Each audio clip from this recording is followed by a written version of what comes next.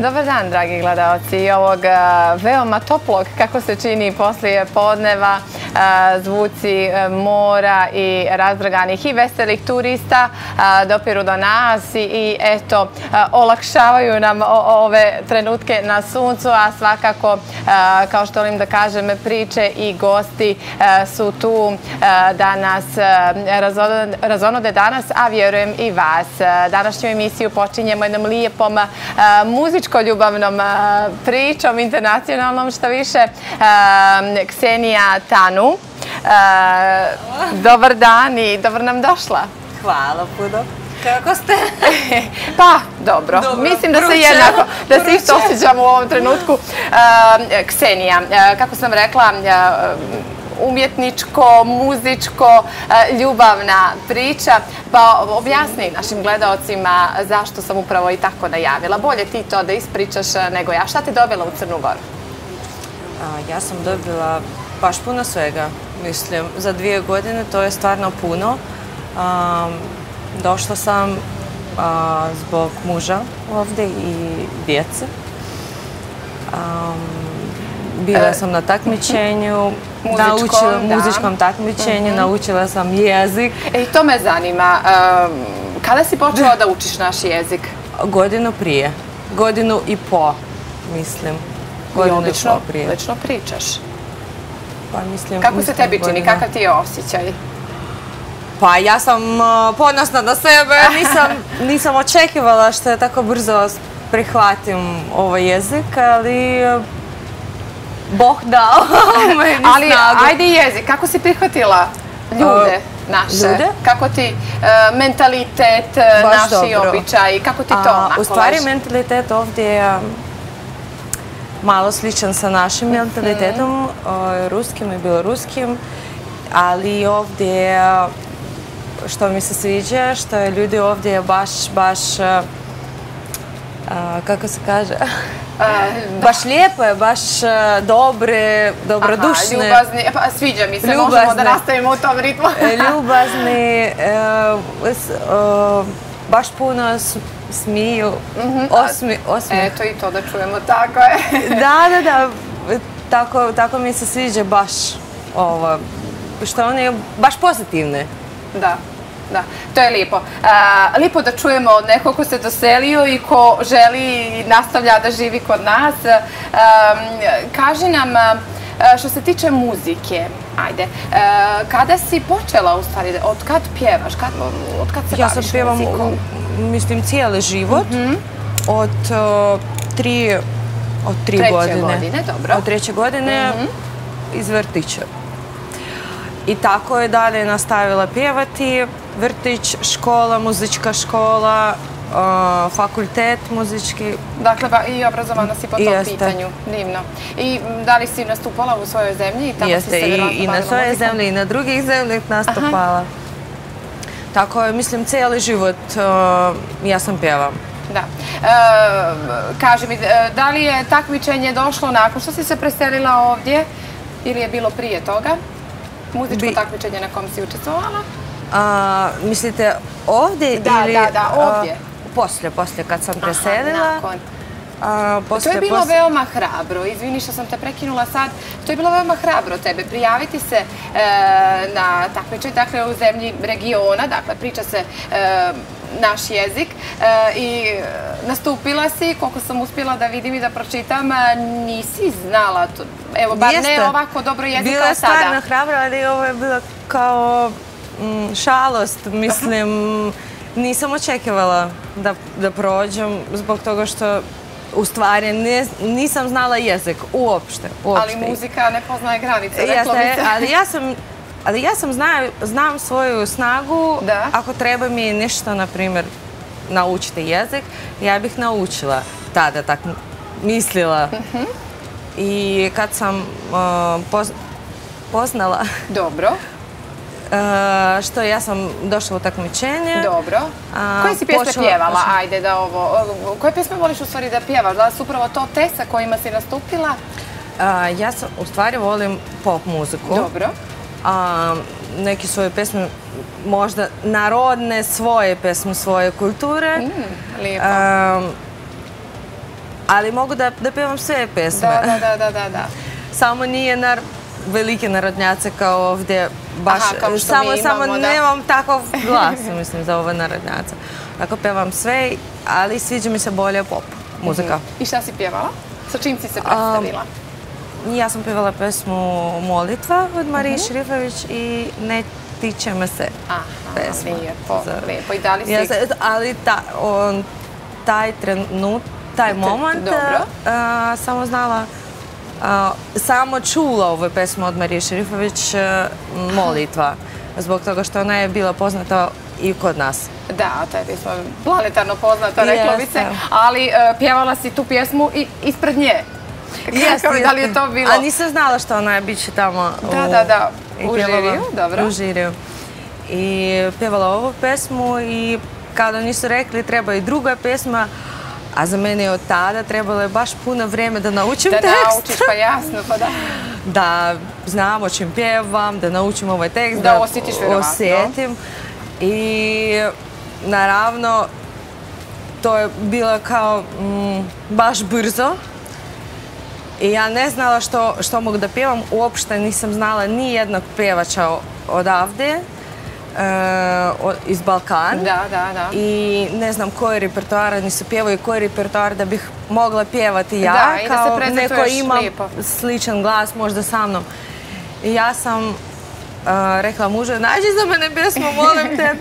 I muž je izabrao. Eh, slušaj moj glas i, i zamisli i misli koje, Aha, da nađe slično. Da nađe sličan glas ili moj glas na koji pjeva pjevačica sličan. Dobro, dobro. Tako on mi je našao ovu pesmu. E, ne tiče me se. Lijepo. Lijepi izbor. Naučila sam tako dvije pjesme pjevala, molitva i ne tiče me se i prošla je dalje. Sjajno. Sjajno. E, vjerujem da ti to iskustvo značilo i radi dalje. E, prije svega radi tvojeg samopouzdanja i vjerovatno pripravljanju planova za dalje, kada je karijera u pitanju, da je to onako lijepa, pokretna i početna stanica, je li da? Naravno. Naravno, kad e, ti dođeš u drugu državu mhm. i neko te ne zna, ja nisam nikog E, znala. Da, da, da. Ali dobar si način našla da se predstaviš našoj publici. Da. I tako mi je naravno ovo je baš dobar početak. Ali to je samo početak. Da, tako je. Pa da li si nešto nakon toga je radila? Da li planiraš nešto da radiš? Da li nastupaš? I nastupam i imam mnogo planovi i također ja sam bavim baš puno, eh, radim i na Instagramu baš puno. Mhm. E, primijetila sam da si aktivna. Da li je to nešto eh, slično influencingu, kako se danas naziva? Jeste, kao bolje blogging, to je mhm. baš meni zanimljiva, zbog toga što ja sam baš volim raditi, nije samo, na primjer, pjevanje, a još nešto bolje, imam puno različnih stvari koje sam u kojoj sam uživam i radim i hoću da podelim sa svima u svojem blogu na Instagramu. Pa kakve su reakcije za sada?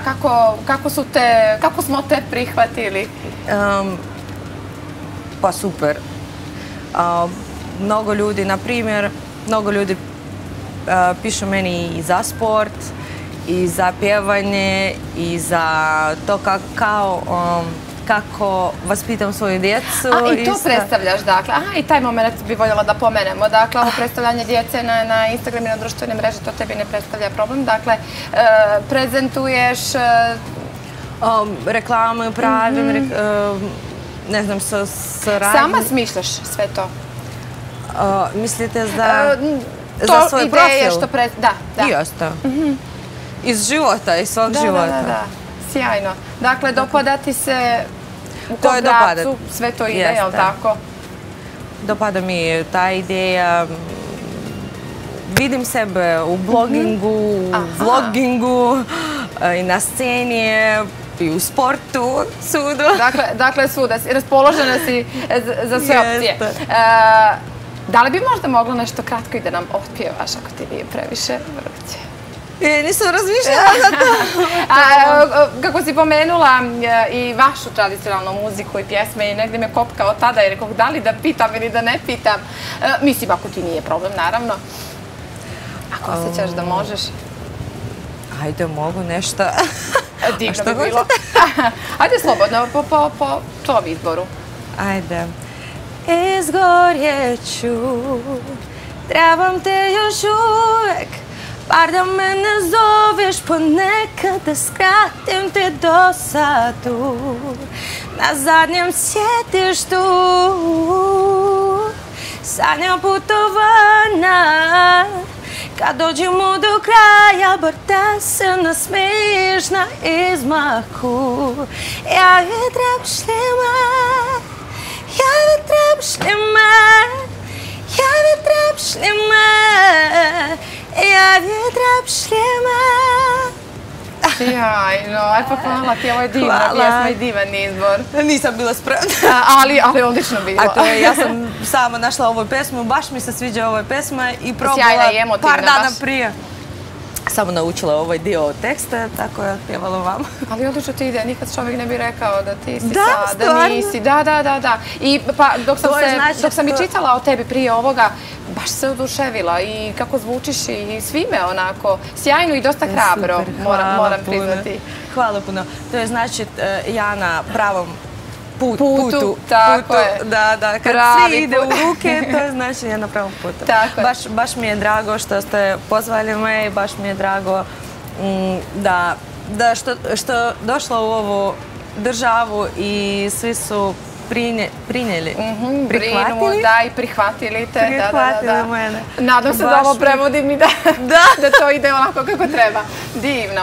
Drago nam je zbog toga i e, još draže mi je što čujem naravno, negdje to prepostavljamo, ali lijepo je čuti iz prve ruke da zaista jesmo dobri domaćini eh, i da se eh, svi vi koji dođete od nekog tako lijepo osjećate. Hvala ti još jednom. Hvala. Eh, I prije nego li se istupimo, pustit ću te da ideš i eto, nadam se se družimo još nekom prilikom sa nekim, ne znam, kako muzičkim, da li vijestima iz društvenih mreža, kako god. Hvala ti puno, Ksenija. Hvala i vam puno. Mi idemo e, dalje. Naime, Udruženje umjetnika iz Tivta 10. avgusta otvorili su e, izložbu. E, svi su predstavili po dva rada, a do kada ćemo moći da pogledamo sve što su pripremili za nas, provjerila je naša ekipa na čelu sa Safetom Ljucom. Pogledajmo. E, kažu da je umjetnost e, zajednički jezik za sve nas i da nas na kraju krajeva ispaja. Naša ekipa posjetila je Tivet i zapravo došla je da se uvjeri u to. E, naime, u pitanju je otvorena izložba likovnih umjetnika iz Tivta koji su dobili mogućnost da svi predstave po svoja dva rada. E, šta je zapravo bila tema, kako je došlo do ovoga, ali i do kada će svi zainteresovani moći da e, pogledaju ovu zaista predivnu izložbu. E, mi pitamo našu sagovornicu, direktoricu ove ustanove, gospođu Danijelu Đukić. Dobar dan i mnogo hvala što govorite za televiziju. Dobar dan i dobrodošli u Tivat i javnu ustanu Muzej i galerije Tivat. Evo ja sam već napomenula, možemo da vidimo već neke od radova, ali hajde da e, nas više vi provedete kroz samu temu i kroz radove koje možemo da vidimo svuda oko nas.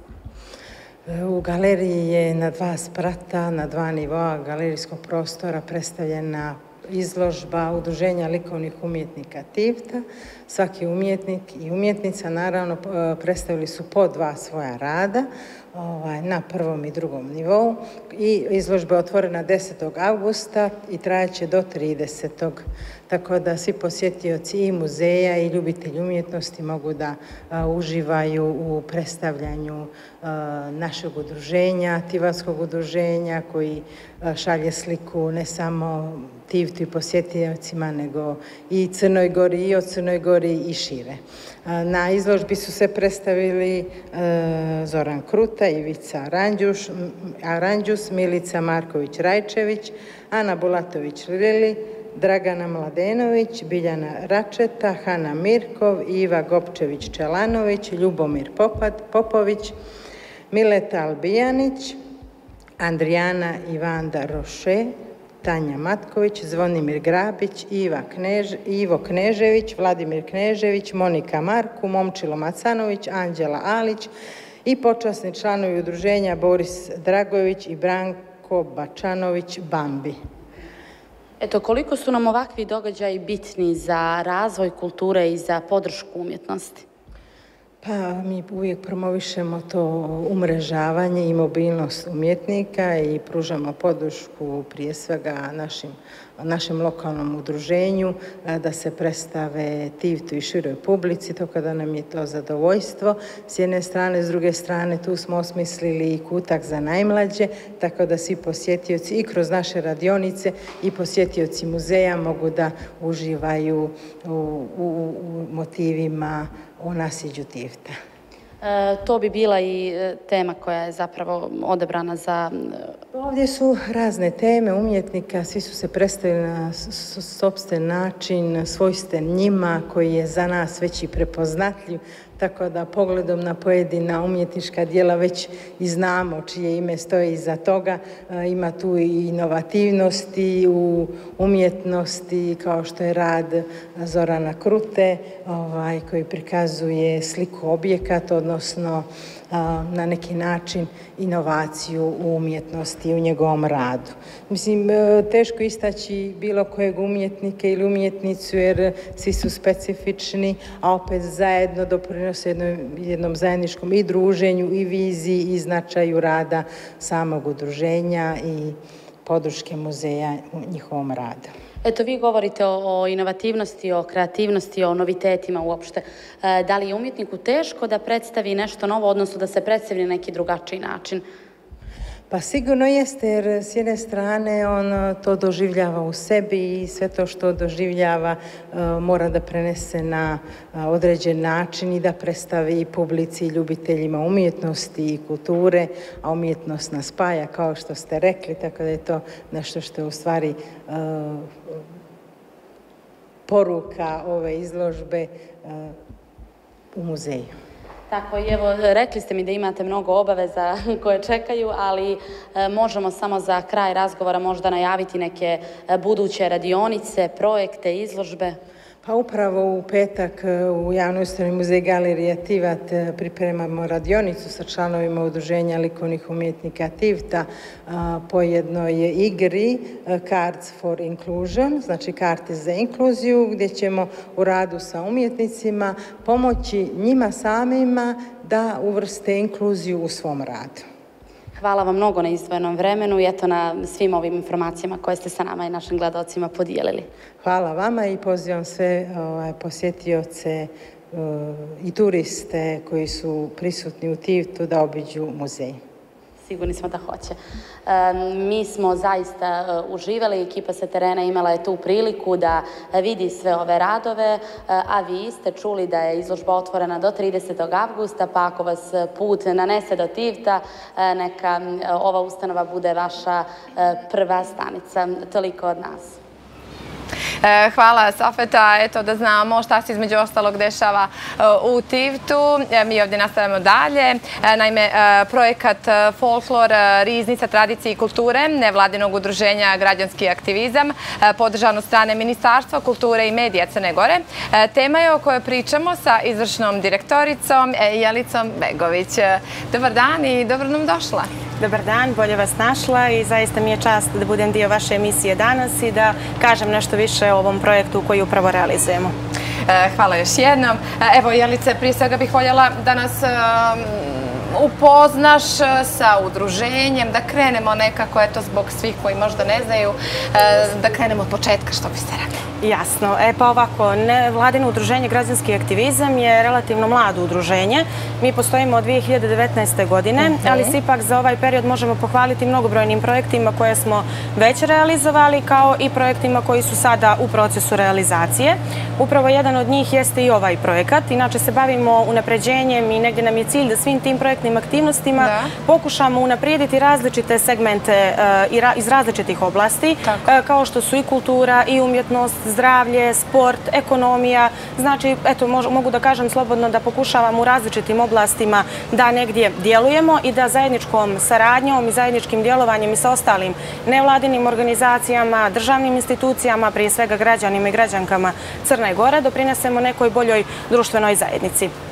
Što se konkretno tiče ovog projekta, e, ovaj projekat je podržan, kako ste već i mhm. rekli, od strane Ministarstva kulture i medija i e, negdje je bio glavni fokus e, afirmacije kulturno-umjetničkih društava i prikaz njihovog rada, ali ujedno i prepreka sa kojima se oni susrijeću svakodnevno, jer ipak možemo reći da negdje i folklorna scena u Crnoj Gori zahtijeva dodatne napore, dodatan trud i ulaganja, a zatim naravno i sve ostalo. Tako da nama je negdje bio cilj da kroz različite projektne aktivnosti koje ovaj projekat e, obuhvata i koji realizujemo, da napomenem, sa partnerskim nevladinim udruženjem koje nosi naziv Jadranski horizonti i koje je iz Bara, da okupimo više kulturno-umjetničkih društava koji su iz različitih regija. Znači, mi smo tu obuhvatili i sa regije Juga, i Sjevera, i centralne regije, i svih tih regija kako bismo prikazali baš i različite običaje, jer negdje e, kulturno nasljeđe upravo jeste e, prikaz kroz rad kulturno-umjetničkih društava, ali i različitih i običaja i igara.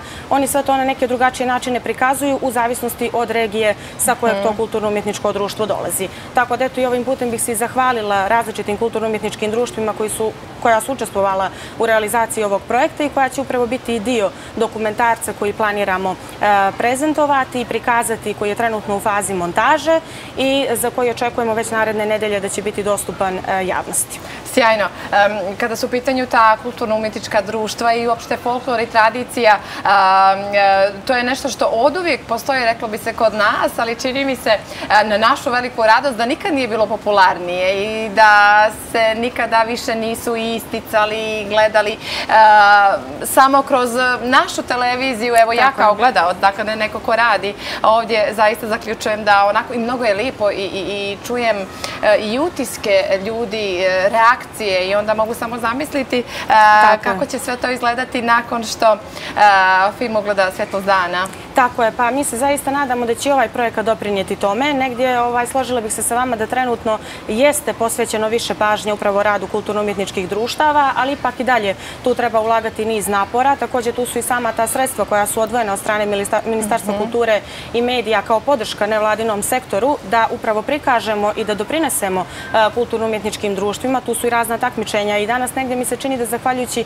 i društvenim mrežama i nevladinom sektoru, čini mi se da se negdje to više e, eksponira u javnosti i negdje je nama mhm. bio cilj ovim projektom ne samo prikazati njihov rad, nego obzirom da kulturno-umjetnička društva zaista jesu prikaz e, njegovanja kulturnog nasljeđa i uopšte kulturne baštine naše države, e, negdje je cilj postaći mlade naraštaje, mlade generacije da se i oni uključe. I zato smo mi imali ideju da u septembru već imamo najavljenu komunikaciju sa određenim osnovnim i srednjim školama školama prikažem upravo taj dokumentarni film koji izrađujemo, kao i publikaciju koja će obuhvatiti sedam kulturno-umjetničkih društava, koja će prikazati njihov rad, neke njihove istaknute nagrade, događaje na kojima su učestvovali i gdje će mladi možda moći da se negdje probudi ta njihova svijest, da tako kažem, a onda nakon toga ostavit ćemo im i kontakte da mogu da se učlane, obzirom da od septembra obično kreću i upisi novih članova u kulturno-umjetničkim društvima, tako da na taj način mogu i da se zainteresuju jer negdje su nam i svi pripadnici kulturno-umjetničkih društava, što će se vidjeti kroz taj e, dokumentarac, obzirom da imamo prikaz intervjue sa različitim e, pozicijama iz kulturno-umjetničkih. Htjela sam da pitam, e, eto da nam negdje bar nešto malo otkrijete, šta da očekujemo od njega? Pa on obiluje prikazom i proba i samih događaja na kojima su učestvovala kulturno-umjetnička društva i nekih njihovih nastupa. Imamo prikaz i nagrada koje su osvojili, zatim prikaz prostorija u kojima oni rade, u kojima oni pripremaju sve te nastupe. Dakle, cijelokupan proces. Cijelokupan jeste, cijelokupan, ali negdje je prikazano je naravno i intervjui koji govore o prednostima, negdje preprekama sa mhm. kojima se oni susrijeću i baš kao jedna od prepreka je istaknut negdje nedostatak mladih članova, iako njih ima, ali ipak negdje interesovanje naročito muškog e, dijela populacije, e, mladih naraštaja, mladih generacija je negdje, možemo slobodno reći, oslabljeno u ovom trenutku. Tako da smo mi negdje ovim projektom htjeli i to da e, pojačamo i da doprinesemo da negdje i oni vide, da čuju i mišljenje i iskustva, jer imamo u samom dokumentarnom filmu učešće i pozicije izvršnog direktora, predsjednika udruženja, glavnog koreografa. E, tu je također i prisustvo PR-a e, kulturno-umjetničkih društava, intervju i sa njima. Negdje iz različitih uglova da se može vidjeti e, zaista i prikazati njihov rad i negdje naravno da vidimo ovaj, šta oni to nama prenose i zaista eto i sam film nosi naziv ovaj, Čuvari tradicije. Eto da otkrijem njegov naziv, jer zaista negdje folklorna društva i folklorna folklorna scena i ansambli uopšte jesu prikaz toga zaista jesu, em što čuvaju tradiciju, em što upoznaju, eto, nadam se se buduće mlade naraštaje, e, sem ovi što, što već znaju i koji su upoznati e, sa istom tom i tradicijom, a da ne pominjemo koliko samo i putuju i upoznaju i druge, e, i druge kulture. Sjajno. Koliko vam samo znači to što dobijate, odnosno postajete prepoznati i dobijate podršku potrebnu od svih onih, u ovom slučaju od Ministarstva kulture i medija, ali e, i u ostalim projektima. Dakle, koliko vam samo znači i koliko znate da ste na pravom putu kad dobijete takvu povratnu reakciju? Jasno, pa izuzetno znači, jer negdje to znači prije svega da su prepoznali naš rad do sadašnji, da su prepoznali da su te projektne aktivnosti nešto što doprinosi ovoj društvenoj zajednici mhm. i da mi na taj način možemo nešto promijeniti. I mislim da danas kada je pojedinac ili grupa mogu nešto promijeniti, zaista to ovaj, znači, a naročito ono što je negdje i moj stav jeste da treba krenuti od mijenjanja svijesti pojedinaca, pa zatim da bismo govorili o nekoj promjeni koja će nastati u društvu ili promjenama. Tako da negdje jeste izuzetna čast i zadovoljstvo sarađivati sa svim tim donatorima, odnosno ministarstvima, jer mi na taj način negdje ne sarađujemo samo sa ne sarađujemo samo sa ministarstvima, već kroz projektne aktivnosti sarađujemo sa drugim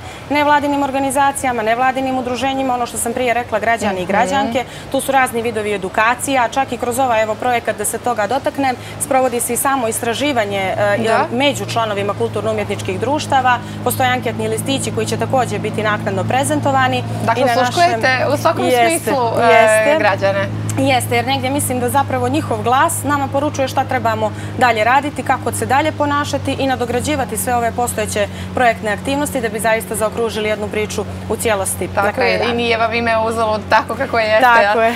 Jer moje jedno od pitanja jeste bilo vezano za građani i za to povjerenje koje sad već uživate nakon i toliko projekata uspješnih i nakon svega. Htjela sam još da pitam na koje ste još projekte ponosni onako najviše evo, do ovog sada koji će? E, pa e, mogu slobodno reći, ajde ne bih sad izdvajala neke zasebno, ali bih rekla da su to projekti e, za mene negdje i ja uživam najviše u realizaciji upravo takvog vida projekta. To su projekti koji podrazumijevaju rad sa žrtvama nasilja, mhm. gdje imamo razne edukacije, psihološka savjetovanja, ekonomska savjetovanja, pravna savjetovanja u tom pogledu, jer negdje osnažujemo žrtve nasilja da to prijave i da prije svega prepoznaju. Jer negdje mislim da je prevencija jako važna i da veliki broj ljudi danas ne prepoznaje nasilje, a možda smo svi mi negdje okruženi ili ga olako shvatamo. Tako da negdje radimo i na tome preventivno, ali i naravno da pomognemo onim licima koje su već e, iskusile, nažalost, da ovaj, upravo jesu žrtve nasilja ili da su mhm. to već bile u nekom trenutku. Tako da mogu reći da su taj, e, taj vid projekata i taj mhm. segment ovaj, negdje za mene, da kažem da onako mi najviše budi i neke osjećaje, jer opet e, mi smo tu i... Veoma osjetljiva Jeste, osjetljiva kategorija, tako da negdje svi ti projekti koji podrazumijevaju žrtve nasilja, koji podrazumijevaju djecu i mlade uopšte, po meni zaista su onako projekti kojima se posvećujemo i sa nekom posebnom, da kažem, pažnjom, jer opet kada imamo neki vid edukacija, da li su to u državnim organima, da li je to u školama i mhm. slično, to je opet neki vid da mi prenesemo neko svoje znanje. Ovdje opet to direktan rad stručnih, naravno, saradnika koji su za to predodređeni, koji naravno imaju iskustva i naravno ovaj, mogućnost da obavljaju takav vid poslova i školsku spremu i tako dalje. I gdje negdje ipak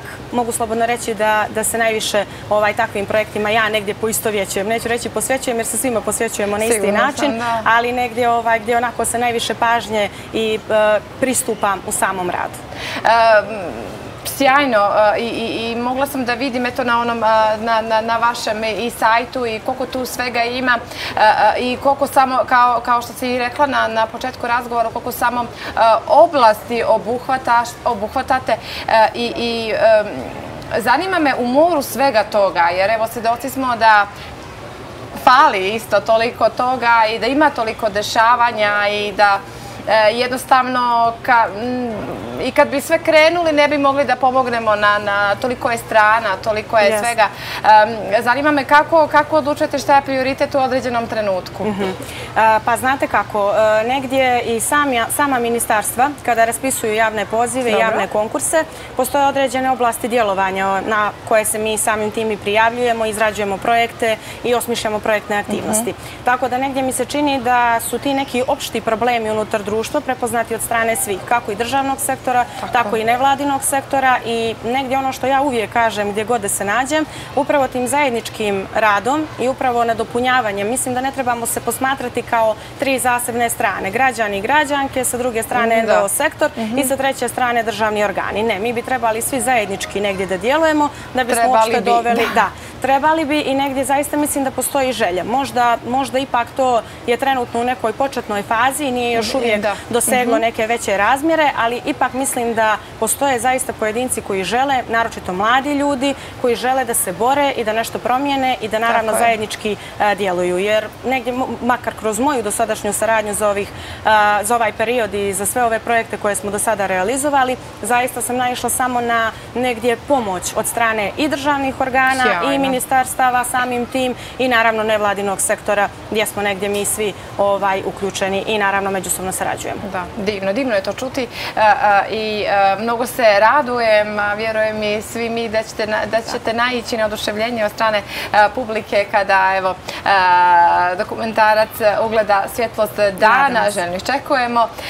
Hvala mnogo na ovako lipom predstavljanju i vjerujem da se vidimo još nekom prilikom. Ja se nadam također i radujem se da ćemo imati priliku priliku da prikažemo dokumentarac i da negdje čujemo i vidimo mišljenja, naravno, i publike. Naravno. E, eto, to bi bilo to za sada. Idemo na blok reklama i onda nastavljamo. E, Zanat predstavlja vještinu ljudskog e, rada, odnosno proces izrade unikatnih proizvoda uz korišćenje određenih alata. U prošlosti je toga bilo u izobilju, međutim danas ovo moderno doba nam donosi e, toliko toga, a reklo bi se i da je zanata i zanatlija sve manje. Međutim, ima ih, ali se vjerovatno vješto kriju i samim tim nekako nam se čini da je toga sve manje, ali kako se čuje nije to baš tako, a danas razgovaramo sa predsjednikom Zanatsko-preduzetničke e, komore e, Crne Gore, gospodinom Slobodanom Starčevićem. E, Slobodane, dobar vam dan. Dobar dan i vama i hvala na pozivu na ovom finom danu ovdje u Bečićima. Divno ste to rekli, onako lagano. E, hvala vama što ste se odazvali, što ste naši vremena i što ste evo i po ovom toplom vremenu došli, e, došli da budete naš gost i da popričamo malo e, o samom zanatu kao takvom zanatlijama, a onda i kako sam čula od vas, ima tu dosta toga da čujemo. Pa ima, ima pravo da vam kažem, ovaj, e, odmah na, na početku ću reći da za nas u Crnoj Gori je toliko zapostavljeno, toliko srozano da je malte ne došlo na dno jedno s kojega sad pokušavamo da se izdignemo i, i da budemo ono što treba da budemo i za uh da budu ono što treba da budu kao i u čitavoj Evropi, u, u savremenom svijetu, modernom svijetu i, i sve to. Tako je, zato kao takav je od uvijek bio. Da. Pa za, zanatlije je gospodin čovjek. Tako je. Vjerujte, pa to, sad je ispalo i luksuz pronaći i, i, i uopšte znati nešto, tako odnosno znati neki tako zanat. Je, tako je, nešto ako vam zatreba, vi, vi se ubi se tražeći. Da, da nađemo. To nema, da. nije legalno, ništa više nije u legalne tokove ne, pa kažemo siva ekonomija. Pa da, pa, ali to nam je, ajde, mislio sam da ne izgovaram takve riječi, pa politika nam je to do, doprinila tome. Kad, e, kad smo se mi kao zanatska komora i kao javna ustanova i zanatsko predoznička komora koja je osnivač javne ustanove uz pomoć Ministarstva za ekonomski razvoj, ovaj, kad smo mi iznalazili rešenja, da se sve uvede u legalne tokove. I nudili to, za to mhm. nije bilo sluha. Čak ne vidim ni dan danas to da postoji.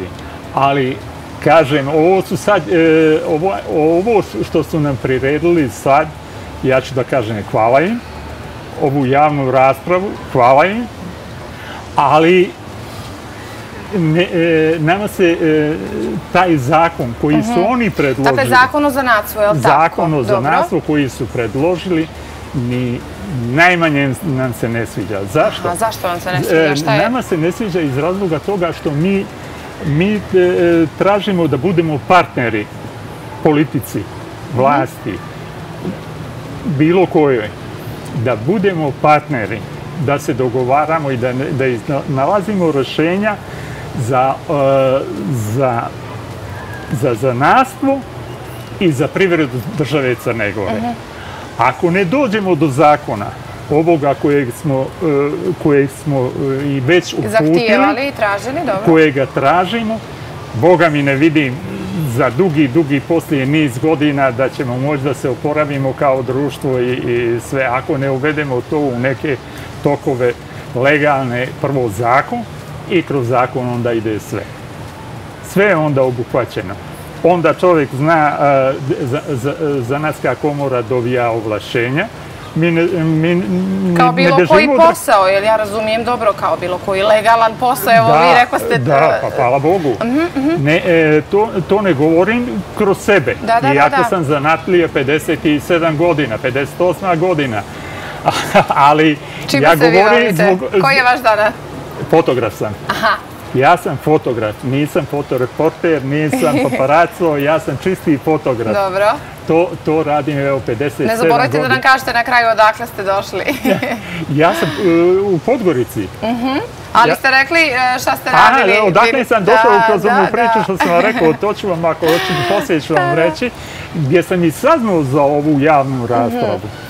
I dakle, to se sad, ako bi se reklo, vrijeme odmora, bar se tako čini, e, kad su mnoge stvari u pitanju, e, ipak se eto tu kao nešto radilo, ali niste zadovoljni. E, pa nije se tu sad radilo ništa, koliko ja vidim. Ali dobro, Jednostavno da, da, da proslijedimo, da, mhm. da, da treba da se donese zakon o zanastvu koji, koji će se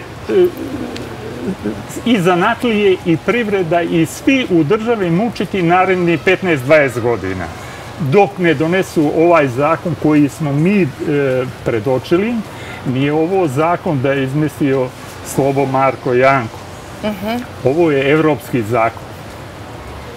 Ja imam i, i, i od koje godine... E, On važi u ostalim zemljama, da, tako? Postoje? od koje godine su prihvatili, uh -huh. Evropska unija ovaj prihvatila nama zakon. I sad ga svi u regionu gledaju da prihvate, jedino mi sad izmišljamo neku toplu vodu. Ja ne znam zašto i čemu to vodi, ili ima se neki interes da bi, da bi ovaj, siva ekonomija radila. Aha, dobro. Vjerujte, da, da, da vlast želi da postoji siva ekonomija. Ja recimo znam uh, jedna radnja uh, registrovana mekatroničara, a u, u hiljadu metara pet radnji neregistrovani. Pa čekajte, I to, a to još bolje zna, i, znaju inspekcije, ali niko na tome ne radi da zaštiti toga jedinog obveznika koji je u, u toj blizini, uh -huh. da kad on plaća, zašto ne bi plaćali pa obaveze i drugi. Eto, tako. Mm, zakon tako i prava moraju da su jednaka za sve. Nisam da. zakucao na ne, neka vrata da kaže aha, ja, ja sam legalan, ja plaćam obaveze da. društvu, državi, poreze da. i sve to što treba, ali e, vi niste, ovaj nije, onaj nije, ne, to mene nikad nije zanimalo. Ja sam se borio na tržištu, kao mlad sam startovo i uspio sam. Uspio sam, evo sad, u ove godine, ja sam bio, evo, sad da vam i to kažem na olimpijadi kad smo pričali, da, da, da, u Parizu bio sam radnik koji je radio olimpijadu, I, i, I to je jedan moj... Pa, da malo pobignemo od ovog za nas, ali ćemo mu se vratiti. Kako je bilo na olimpijadi? Da, Kakvi su, bili, kakvi su utici? Na olimpijadi, e, meni su utici jako dobri. Ja nisam očekivao od naših sportista, jer u naš sport se vrlo malo ulaže. Da. Iskreno da, da pa, bude. Činjenica. Bitno je da, da je tu ministar sporta bio na olimpijadi, da je došao da proprati i, i to da vidi. A koliko je on uložio tu, u tu, za pripreme naših sportista, za sačuvanje nekog kluba u državi Crnoj Gori Pa to je, to je smiješno i pričati. Pa ja kažem, pratim sport. U sportu sam, od kad znam za sebe, ovaj, pratim i van Crne Gore i sve. Ja kažem, oni su ambasadori države Crne Gore. Tako je. A to treba neko da vidi od ovih koji moraju da vide, ali ne vide. I, i te ljude nagraditi. Pa ne mora sve da se donose medalje zlatne Jasno. i to. Nek učeće. Ali bar da kažemo da smo onako sve ba, pokušali i, i, i da su imali bar neke osnovne... Ja u Parizu da. na koliko mjesta sam vidio, posle borilišta i vidim crnogorsku zastavu. E, ja, ja vam taj osjećaj ne mogu opisati u mene što se budi. Znači, među toliko država u svijetu, tu je i moja zastava, moje zemlje, nalazi se, pa ima šta je še. Ja imam u srce, ne treba mi nikli. Da, ali ne, ne morate, vidim, da. Da, ali Boga mi, kad vidim... Ali lijepo, lijepo je, jasno. Mo, moram to istać, stvarno mi je to Tako, a vjerujem da te scene koje ste imali priliku da zabilježite tamo, da je da, tek to... Da, imao sam, imao sam, hvala Bogu, imao sam toga dosta da zabilježim, da, da vidim i mimo borilišta, meni su bila sva borilišta otvorena sa akreditacijom uh. -huh. koju sam imao, meni su birališta bila otvorena, tako da sam mogu da, da odem bilo na Roland Garros ili na olimpijski stadion ili atletski neki Sjajno. bazene, pli, plivački sportovi, to svuda sam mogu da budem prisutan. A mogu sam i da ugrabim vremena, imam kondicije, imam snage da ugrabim vremena, da ovaj obiđem još nešto i, mimo toga da vidim u Parizu Sjajno. što nisam vidio do tada. E, pa vi ste baš, vi ste baš, baš sam, Baš sam iskoristio deset dana Tako je, lijepo. i jer, dogovara se sa prijateljima, prijateljima nekim koji već su pozdrav iz Pariza poslali, da pozdravljaju Pariz i najavljuju Los Angeles. Ja se odmah priključuju i ja ću to je sad Neka ćete, malo... Bože, zdravlja i to da iskusite. Nego da se vratimo mi uh, uh, za NATO, negdje bih voljela da pomenem kako je nekada bilo kod nas.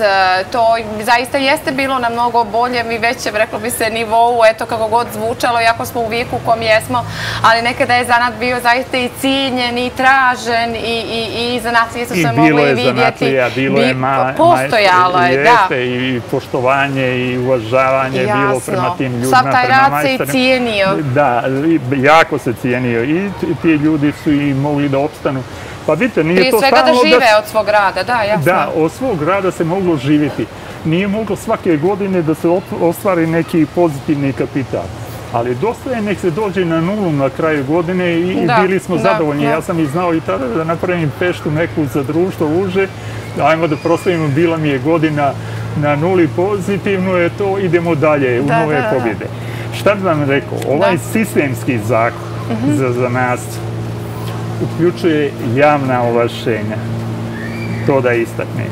Predra, predlaganje stručnih slika za nad majstorske kvalifikacije, maj, da ne preskočim pa i gledam, majstorski ispit, dualno obrazovanje, imenovanje vještaka zanatske struke i imenovane članova ispitnih komisija za stručni ispit i za majstorski ispit. To je pod broj 1. Pod broj 2. Aktualizacija liste zanata i djelatnosti sličnih zanatu prema konsolidaciji Evropske unije, direktivi o, e, o priznavanju profesionalnih kvalifikacija. Mhm. To je pod brojem 2005 kroz 36 EU od 20.11.2013. godine. Znači, oni su ovaj zakon koji sad mi tražimo da se usvoji u državi Crnoj Gori, oni su ga priznali, Brisel ga je priznao Evropska unija, Njemci ga, e, Njemci ga imaju već 100 godina i više, Pa mi smo kroz saradnju sa njima malo i od njih pokupili i vidjeli što je, mhm. što je bolje i kako je bolje. Jačanje zanaske komore kroz, kroz obavezno članstvo i sad neko članstvo što je dato privrednoj komori, da na ta privredna komora vrati to nama, mala, mikro i srednja preduzeća, da tu članarinu bude naša, da mi nikome nismo na budžetu da tražimo sutra ljude koje ćemo imati u komori zapošljene, nego da, da, da nam daju plate i to, nego mi ćemo imati samim tim i kroz pružanje usluga Jasno, za, na, za natlijena. Uh mhm. Tako, a saradnju sa svima želimo. Mi smo ovaj zakon proslijedili i poziciji i opoziciji. U elektronskoj formi i moja malenkost ovako ga je nosila i predavala ovaj zakon uh od 25 strukovnih udruženja koje podržava ovaj zakon i koje je dalo na, na zadnjoj skupštini primjedu na ovaj zakon koji vlada treba da upiti e, skupštini na usvajanje. Na taj zakon koji nam ne donosi ništa, samo imamo, imamo glavobolju i dalje, ništa ne rešavamo sa tim i ne vidim e, svrhu uopšte da se taj zakon donese. Uh -huh. Mi imamo sad e, i od 2009. godine, da ne varam se, 2009. godine zakon koji je donesen na blic uh, ad hoc, ono, da, da. što bi rekli, donešen i dobili smo jedno javno ovlašenje. Samo jedno, vođenje registra. A, a šta je to? Ne, ne stidimo se ni toga. Ne stidimo se ni toga, tada smo i to prihvatili i toga ministra nagradili što je progurao makar i to. Ali to, to je pisarnica. Jedna, jedna osoba treba da ide u sekretarijate -huh. ili sekretarijat da šalju to. Da, da, da. Uh ko se je prijavio na zanat, ko je ovo, ko je ono. A inače, ništa se ne, nije dobilo sa tim. Mene zanima, Slobodane, e, Takva je situacija sada. Šta vi mislite? Da, da li ste izgubili sve nade? Da li se zanat kao takav ili ajde ako možemo slobodno reći o ovom modernom e, dobu e, na savremeniji način vratiti možda i opet postati popularan? Jer ja imam osjećaj da je malo i ovo ovaj modernizam donio e, i, i odnosno da je za nas izgubilo na značaju baš zbog ovoga, ovog vremena u kom sada živimo. Možda ima malo i toga. Hvala vam na tome e, i slažem se s vama dosta e, za to. A za, e, za naće živjeti, da se, da se razumiju. Od 155 registrovanih zanata u Evropi, kod nas trenutno životari nekih 30 zanata. Ja sam vam mislim, ja sam vam mislim, sve, sve sam vam rekao sa tim. Da, Stvarno. Ali, Ja, ja sam jedan nepopravljivi optimista. E, to ja vas pitam. E, da mi... vjerujte da sam toliko uvjeren da će ovaj zakon da prođe i da ga Skupština usvoji. Na, Zbog svih ljudi, naravno, koji prijedno rade nije to interesu samo za, na, za nas, na, pa da. to je privrede države Za sve jedne. nas i za cijelo društvo, jasno. Da, jasno. To, to, je, to, to, je, to je toliko sigurno da, da nemam riječ. Opet i to čini, evo, da se nadovežemo na prethodnu priču o tradiciji, o folkloru, o svemu što čini jednu državu, pa i zanat je dio uh, jedne tradicije i svega onoga što čini, jel tako? Tako je. Bilo koju državu. Baš tako je. Baš tako je. Pa tradicija je to. Uh, uh, dosta sam putnik i putujem i ulazim u zanatske radnje sare zanatske radnje. Pa kad vidim u zanatskoj radnji da se proizvodi ovaj papir, kako se proizvodi? Da. Pa, pa to treba pozdraviti. To treba država da, da njeguje, da čuva te ljude, jer oni su kao jedinka opstali na Balkanu sa tim da proizvode taj papir i kako se proizvodi iz one tečnosti, kako se kupi, kako se sastavlja, kako se spaja i na njega poslije se štampa.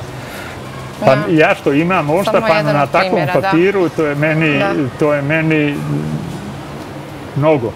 Slobodana, ja se nadam da će stanje biti bolje i priključujemo se vašem optimizmu e, da sve bude onako kako želite. Hvala vam mnogo na izvojenom vremenu danas. Hvala i vama.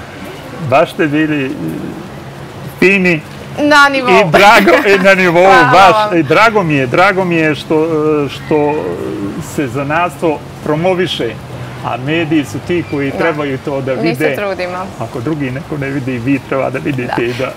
Hvala vam, hvala vam još jednom. U nastavku programa slijedi ekskluzivna priča naše Adele Mulić, pa hajde da ispratimo zajedno.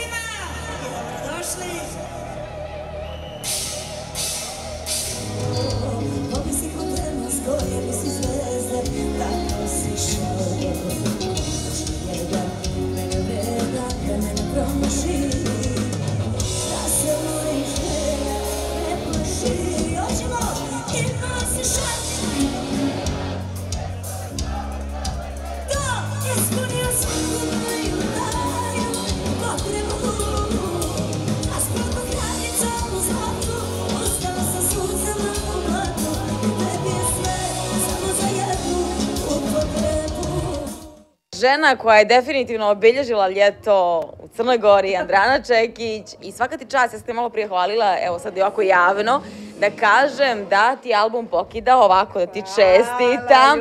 I toliko si se trudila i toliko si radila ovog ljeta i uživala. Sve sam stigla, to si upravo, hvala ti na komplimentu, ovaj, e, trudim se da kad nastupamo da dajemo sve od sebe i ja i moji momci, a kad e, ne radimo isto damo sve od sebe da nam bude zanimljivo i da bude sadržajno i meni je jako lepo. I ovo leto u Budvi i mm, e, bilo je dosad i doći ću još dva puta. Jel da? da, da. Pa polako Jedva privodiš sezonu u kraju, ali mislim, ako treba da brojimo nastupe, definitivno si jedna koja imala najviše nastupa. I to pokazuje koliko te publika ovdje voli. Uh, nije sve party party, on se uvijek meni vrati. Ženo, ti ih Nije sve party party, ali jeste malo. malo je bilo sve party party. Sve je bilo party party, definitivno.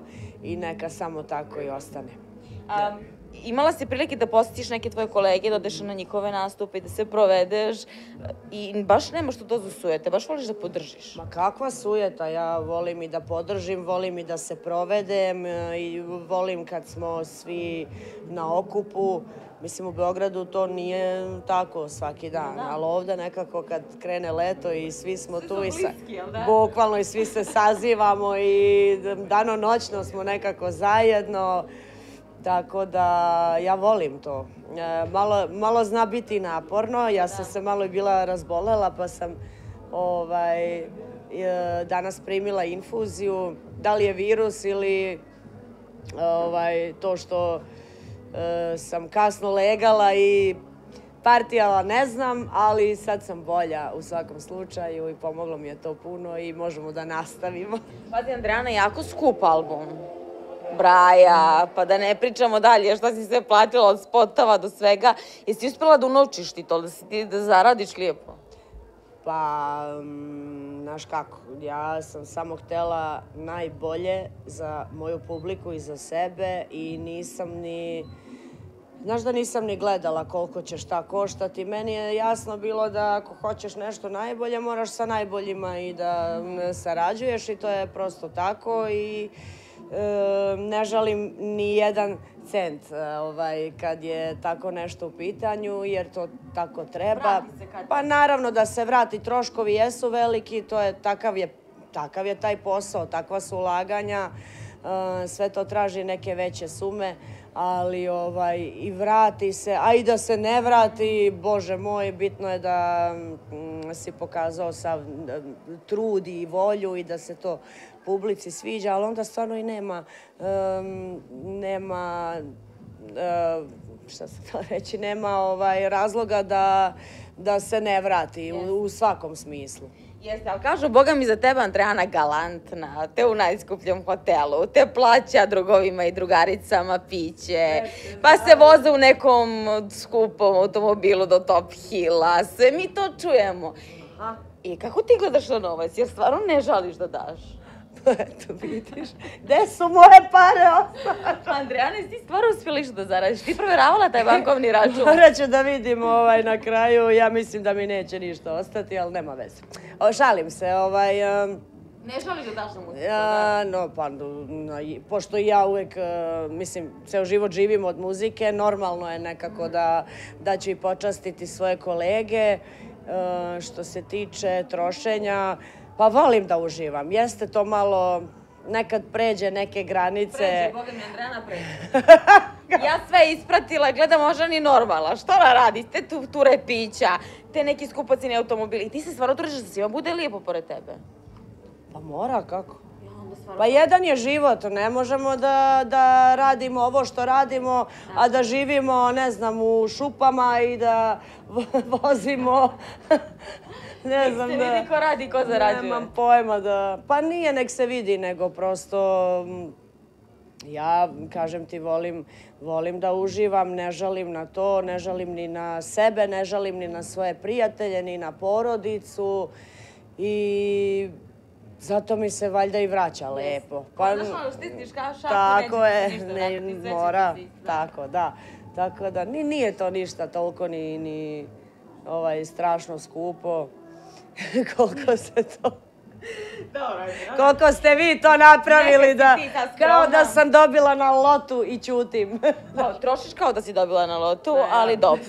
Dobro, ja volim kad žene uživaju i kad žene same zarađuju. Ja sam to sama sebi ovaj, priuštila, niko mi nije poklonio, niti će sutra i opet ti kažem, život je jedan i... Proći će ko nikog me nepravilno gledaš. Pa ne, nego ono... Jesi bilo ovog ljeta da se zaljubiš? Ha! Aha. E, Nemoj se da me slažiš, nego da mi kažeš iskreno. Ovo sad momci gledaju ovi tvoji iz benda, kažu, vidim ja nešto mi tu... E pa ne znam, ovaj, ne znam, ne znam. Ne znaš, trebaš malo da... Moram da... Aj me pitaj sutra, uveče, pa Joj, ne znam.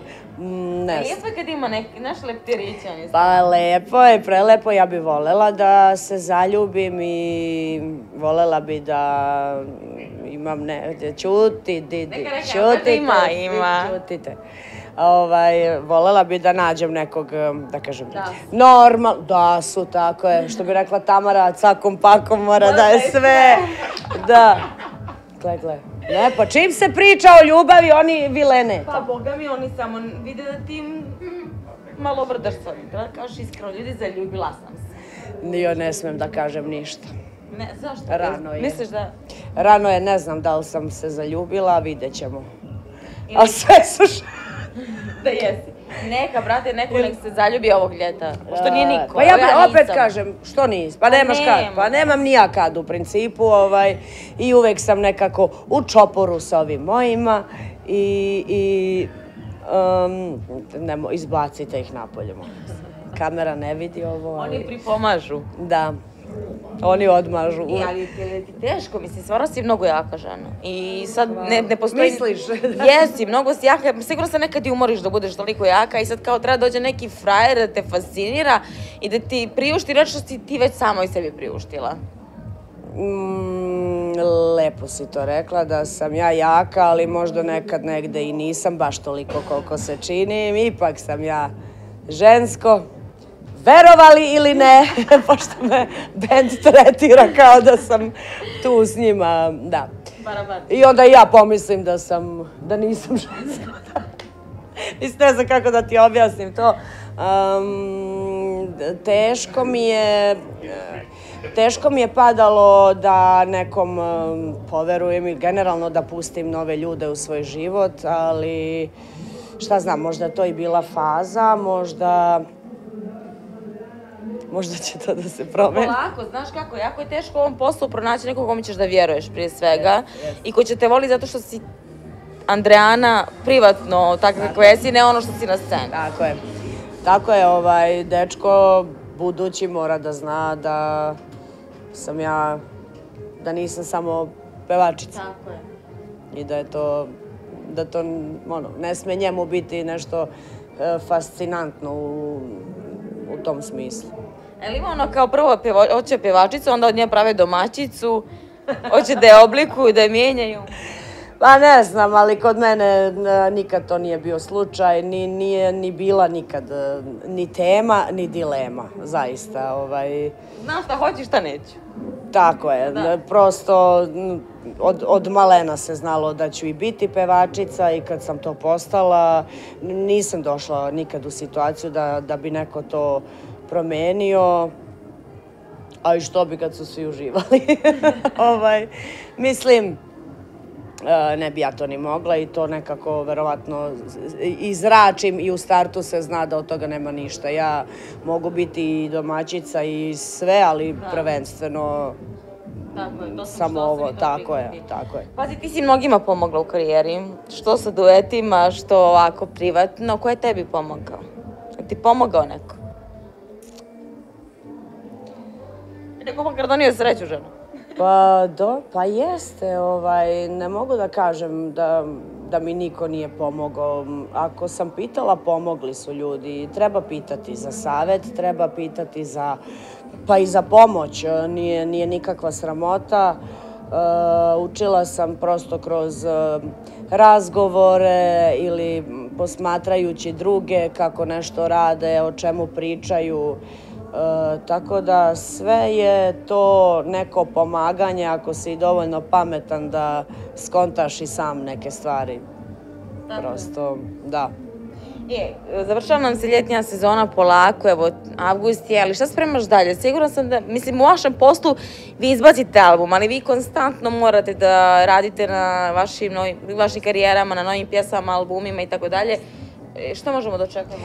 Pa obzirom da je izaš, izašla prva polovina albuma, mm, e, izaći će u septembru, krajem septembra najverovatnije, e, druga polovina, onda opet kreće promocija tih pesama. Nije to samo izbaciš album i to je to, nego mm, onda kreću i emisije i Uh, biće i pro, ovaj, kako se zove, jesen i zima, pa će biti verovatno više svirki preko, u zatvorenim e, prostorijama. Tako da, to je to. Tako da se radi u životu, ja ti stvarno želim da se zaljubiš, da odlijepiš za nekim. Jao, hvala da ti, ja tebi želim, ali ja i sebi želim. Mislim, mi smo žene mnogo ljepše kad smo tako zaljubljene. Ne vidi kamera, ali ove iz benda viču, ne, ne, samo ne da se zaljubi, ne. Biće ona vrijedna kao što je sad vrijedna i želim ti album bude novi, taj mislim, ta druga polovina, baš u znaku ljubavi. Hvala, eh. jo, može, jo, divno Hvala si. Puno, Hvala tebi i pozdrav svim gledalcima. Sreća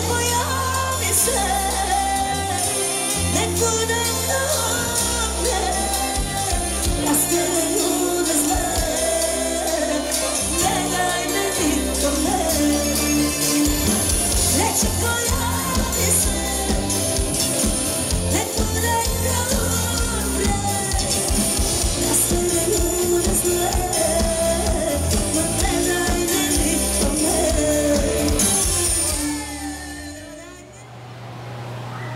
A zašto je zahvalnost zdrava? Za ono što imamo ispred i oko nas, e, za ono što jeste u nama i za ono što jesmo i što želimo da budemo. E, toliko je toga, ali o svemu o tome, jel tako, danas razgovaramo sa mladom psihološkinjom e, Anđelom Bećir. Anđela, dobar dan i dobro nam došla. Hvala puno Maja na pozivu.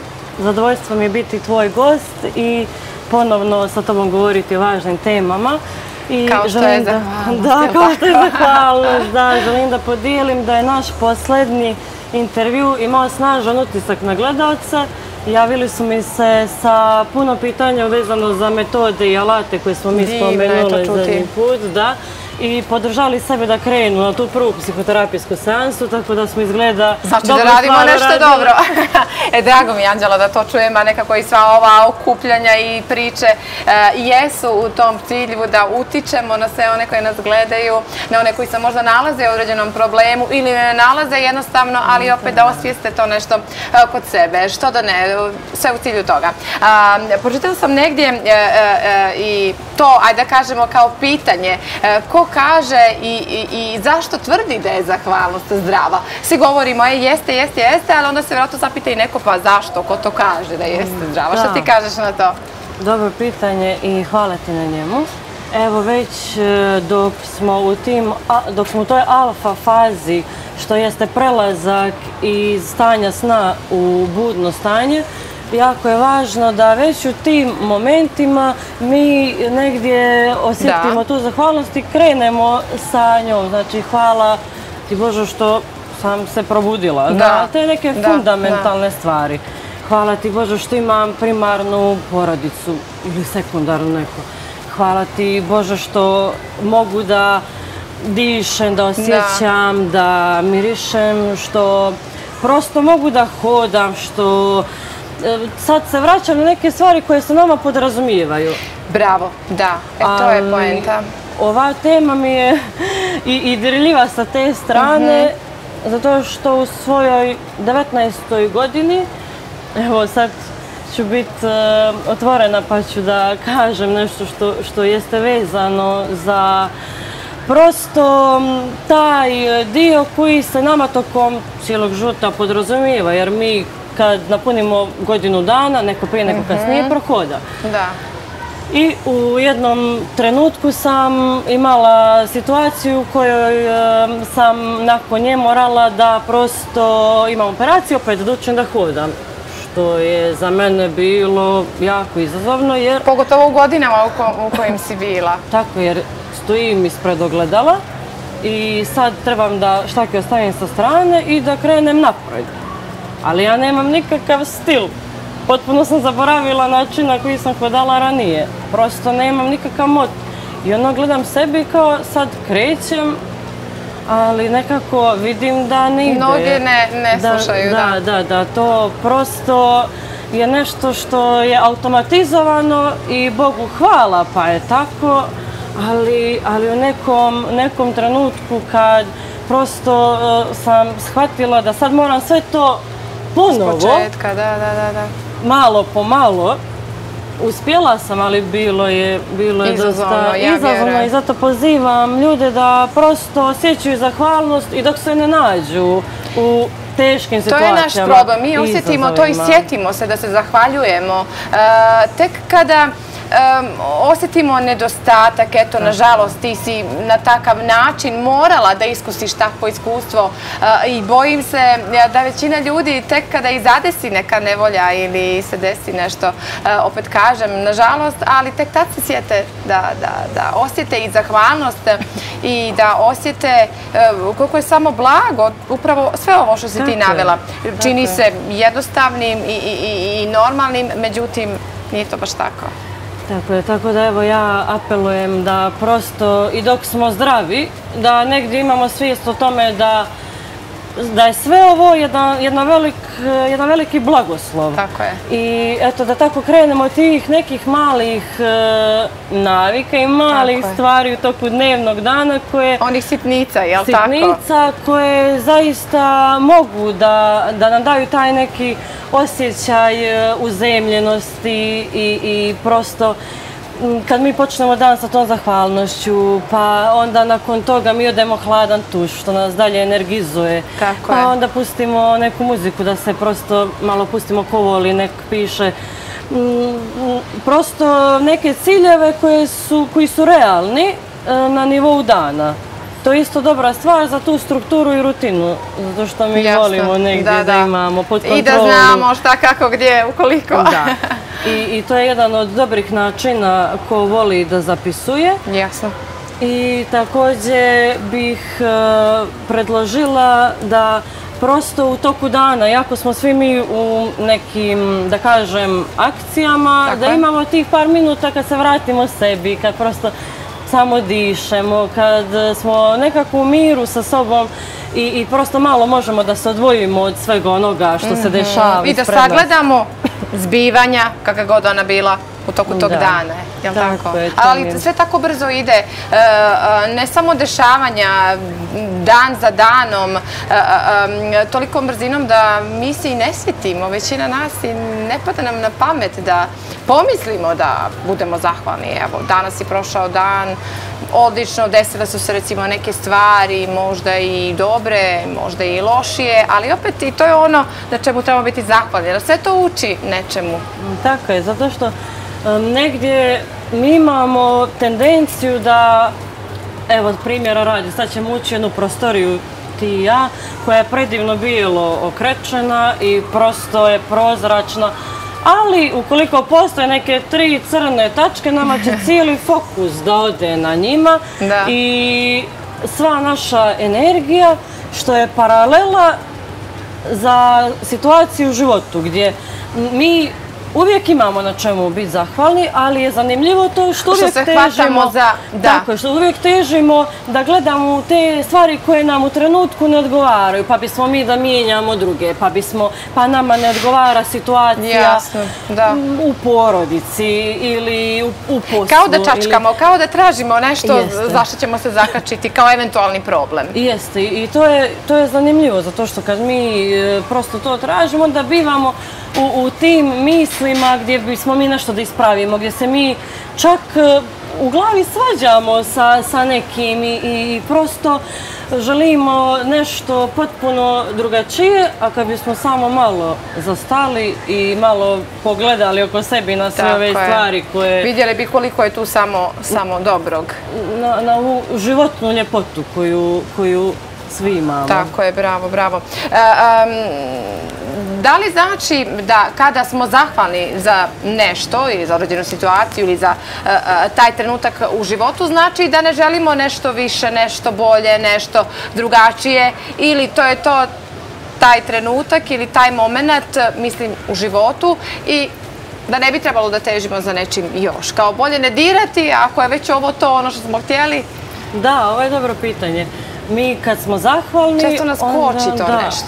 Onda čak šta više percipiramo i druge blagoslove na kojima možemo mhm. biti, što naravno nema nikakve veze sa tom našom ambicijom što bismo mi sve dalje željeli. Da, da, da. Prosto je ovo nešto što nam može pomoći i može nam osvijetliti to što imamo u sadašnjem momentu. Zato što ja mhm. volim da kažem, izlugala psihoterapeuta da sve što mi želimo, sve čemu mi težimo, to je tu negdje. Mi ćemo da dosegnemo to. Prosto je prisutno i, i samo, samo trebamo nekako polako i usmjereno i sa svojim ciljem i prosto da, da osjetimo i unutar svog srca tu našu i svrhu mhm, i, i mhm. misa, misiju jer ja vjerujem da je svako dat za nešto, prosto da na ovom svijetu ima za svakoga mjesto.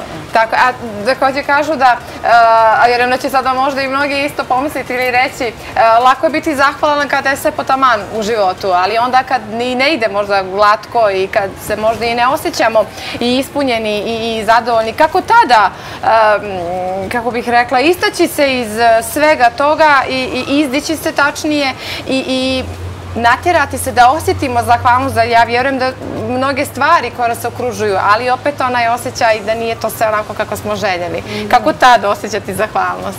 Da. Pa zanimljivo je to zato što Bog nam daje samo ono što možemo da podnesemo. I prosto čak i u tim nekim teškim izazovnim situacijama koje će uvijek biti, jer ovo je život. Dakle, one su neminovne, da. Tako neminovno je. Baš u tim situacijama mi dobijemo jedan e, poseban nalet snage koji, koji nam Bog da tad kad nam je potreban. Mhm. I meni je to bilo iskustveno jako, jako zanimljivo što prosto kad mi je najviše trebalo, eto dobila sam tu snagu i prosto sam znala da će biti sve u redu. Na, na mentalnom planu znala sam da će sve biti... Koliko ti samo to značilo što si e, pozitivno razmišljala. Da. Iako ti je bilo teško. Eto, savršeno u stvari primjer. Da, i onda prosto sve to što se dešava, ja znam da je to samo put do onoga što mene čeka. Ja prosto sam samo gledala u tu viziju da ću ja opet pa sve to, jel tako, i hodati, lesati. Kao što sada, eto, i radiš, bravo. I onda to sve sa strane što je dolazilo, nekako nije me moglo poremetiti jer sam imala svoju viziju što jeste jako zanimljivo kad mi u životu imamo osjećamo i svoju svrhu i smisla kad mi znamo ka čemu idemo onda nam mnogo lakše pada čak i ta patnja, čak i taj bol koji, koji je neminovan. Tako je. Volja i ja moram priznati svaki put sa duševim podrškom koju imaš e, sa sobom i onda me to samo mlje navilo i da te pitam koliko samo znači i to podrška porodice, okoline, koliko samo to bude vjetar u leđa za uprkos, naravno, volji koja je neospona i želji i svemu ostalom. Da, drago mi je što si to pomenula, zato što sam posebno zahvalna svojoj porodici, jer ona je uvijek, uvijek, uvijek tu za mene i prosto ja ovo danas ne bi bila da nije bilo njih. Sjajno, sjajno. Sad smo se raznježili svi. Da pređemo na ove mlađe, pošto često radiš i sa djecom. E, e, e, vjerujem mi da sa njima razgovaraš upravo o zahvalnosti, osjećaju zahvalnosti. Kako oni reaguju na, recimo, na priču o tome?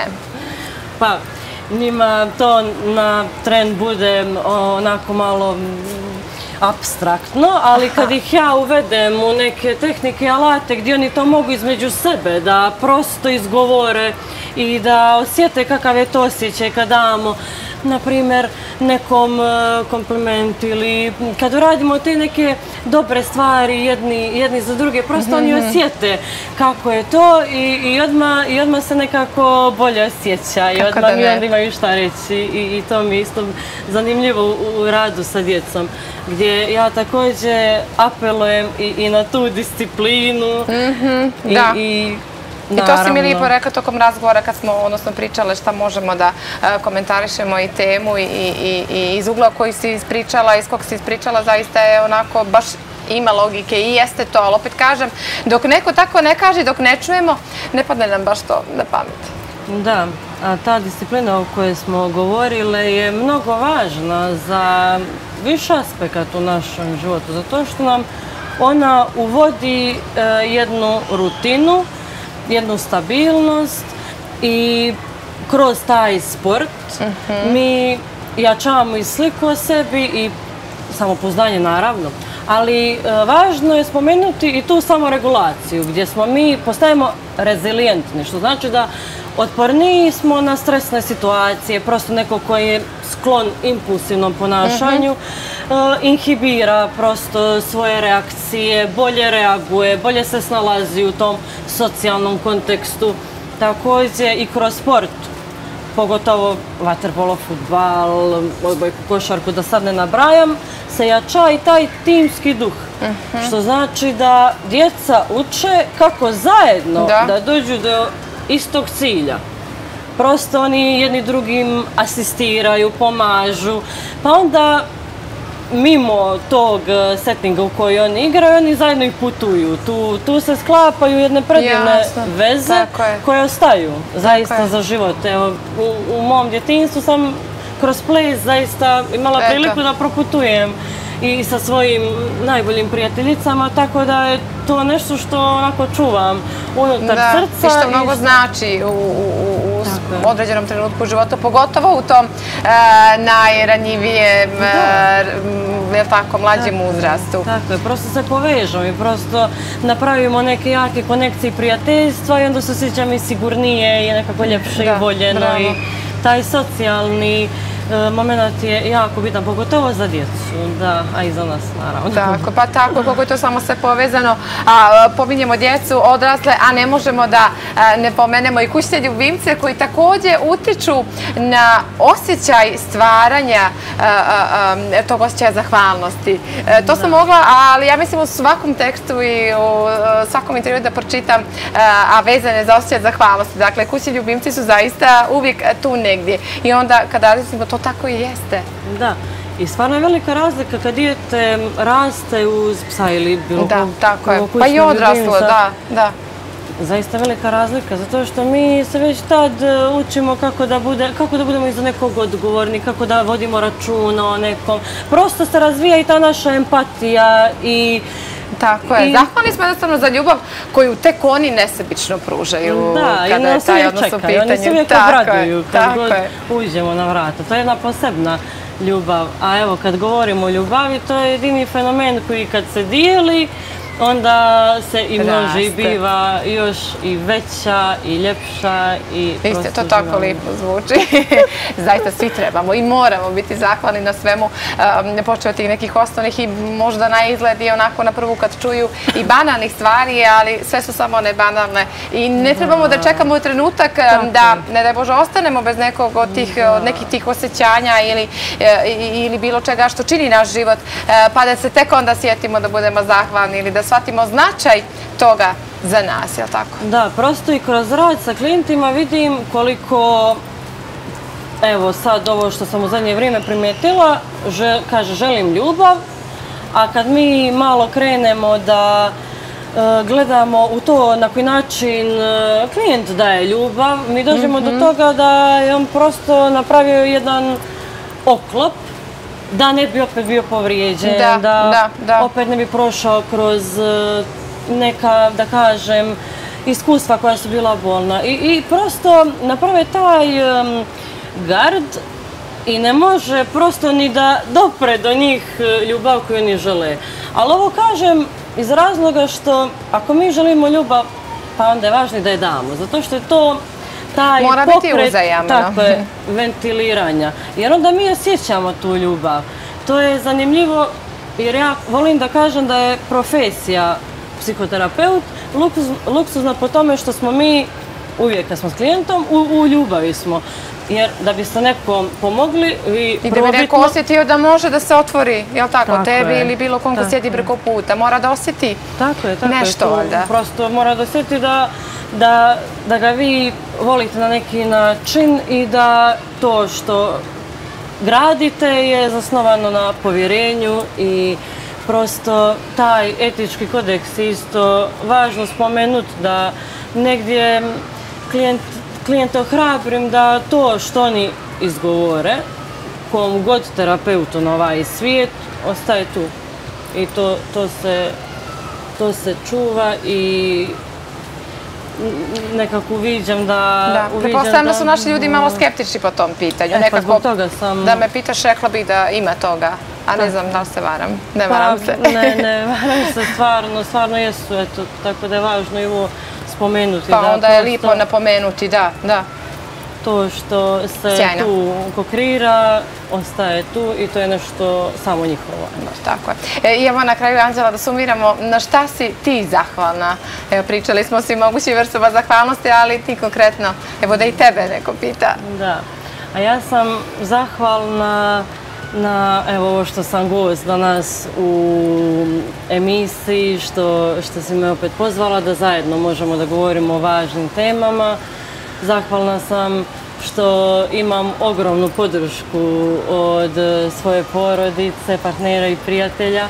Zahvalna sam što sam na svom putu, ja sam željela psihologiju da pišem već krajem osnovne škole. Da, ti si vrlo rano krenula u, te, da. I, zahvalna sam što sam negdje, nisam odustala od te svoje želje, te sam postala i diplomirani psiholog, evo sada i gestalt psihoterapeut i zahvalna sam što mogu da pružim ljudima ono što, što, što im je, ono malo što im je potrebno u, u trenucima kad se osjećaju, da kažem, kad nisu centrirani, da, prosto da, kad, kad im treba. Van te neke možda kontrole da. koje im odgovara. Eto, I, I zahvalna sam na, na cijelom i također i svom sistemu podrške što sam nekako sve ove godine naučila kako to i da, i da sebe podržim u, u trenucima koji, koji nose izazove i ima puno toga na čemu, na čemu sam zahvalna. Ali lipo je da krenemo ovako, da počnemo sa,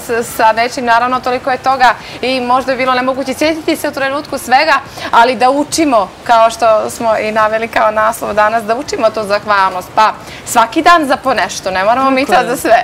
Tako je, svaki dan je jedinstven za sebe i nosi nešto novo i svakog dana imamo priliku da nešto novo naučimo jer, se, jer je jedan dan 36.400 sekundi gdje zaista imamo priliku da...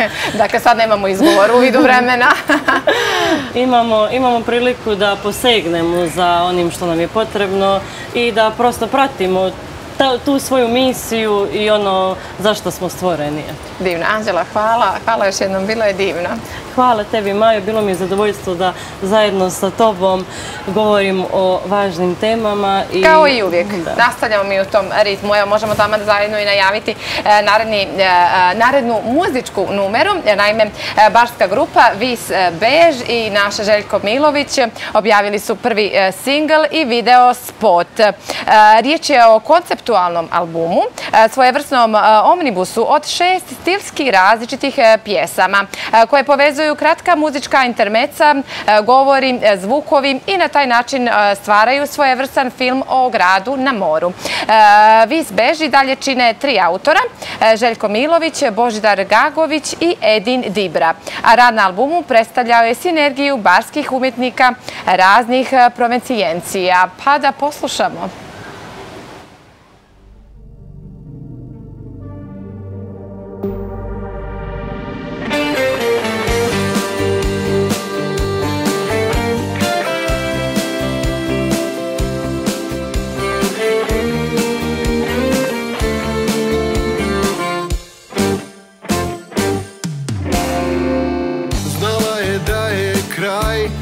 Prošlo je.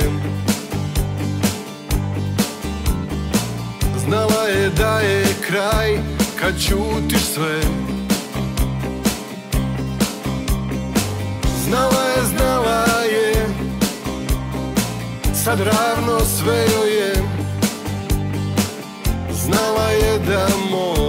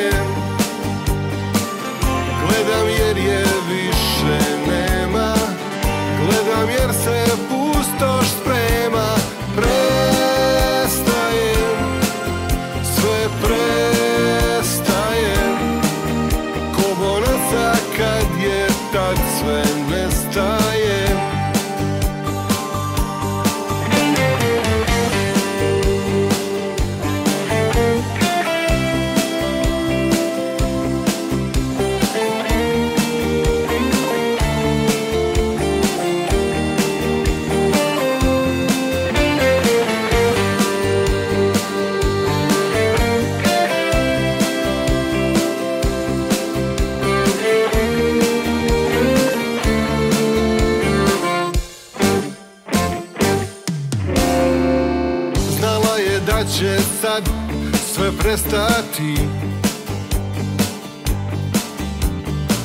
Znala je da će tajne se doznati. Znala je, znala je. Sad ravno sve joj je. Znala je da more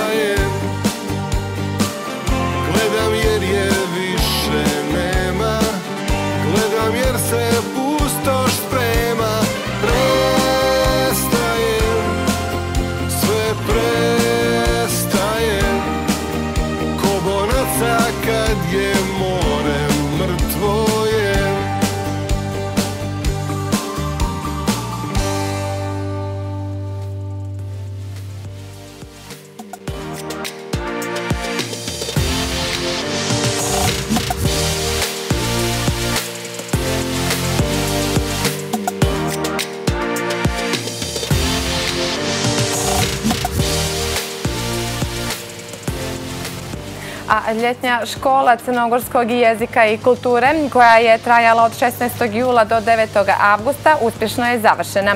Polaznici su nakon položenih završnih ispita dobili i sertifikate. Danas o tome pričamo sa PR-kom Fakulteta za crnogorski jezik i književnost Ivanom Rondović. Ivana, dobar dan i dobrodošli. Hvala, bolje vas našla. Evo, sjajno zvuči uopšte postojanje jedne ljetnje škole crnogorskog jezika i književnosti. Baš smo se onako svi oduševili. Recite nam nešto o njoj prije svega.